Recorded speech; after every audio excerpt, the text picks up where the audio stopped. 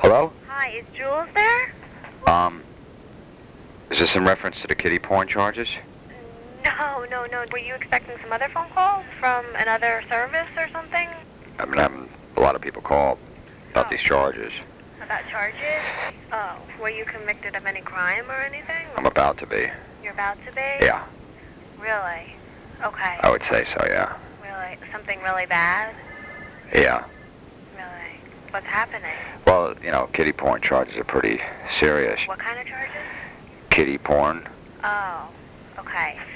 Well, you know what, Jules? We'll definitely contact you in a month or so, okay? We'll explain everything to you in a month, okay? Why not now, no? Well, basically, I'd still like to meet somebody, you know. well, you have other things going on.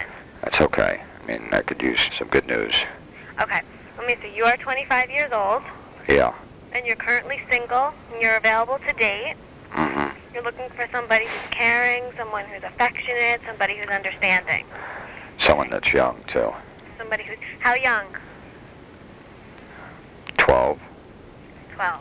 Okay. 12 to 15 or something. Okay. Well, just so you know, the females here start at age 18. So we're going to have to contact you at another time, okay? We can't do this now, though? No, we can't. Yeah, we're extremely busy right now. We're going to have to call you back at a later time, okay? You don't have anyone that's like 14 or 15? No, we don't. No. We start at 18. Mm. Okay? How about um, any males? 12 to 15. No, we're strictly heterosexual. Oh. Yeah. Okay, bye-bye. Do you have any little brothers?